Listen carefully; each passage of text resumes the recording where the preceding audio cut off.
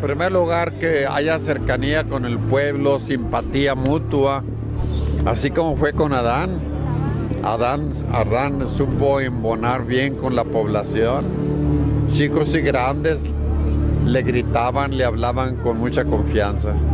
Entonces que, que, que esa, eso, eso continúe, ese aspecto continúe, esa relación de, de cercanía.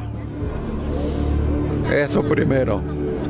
Ahora, la, la- la iglesia. la Y otra cosa, otra cosa también es eh, que las obras que quedaron ahí inconclusas, pues que, que tengan también continuidad, que se les siga dando para adelante.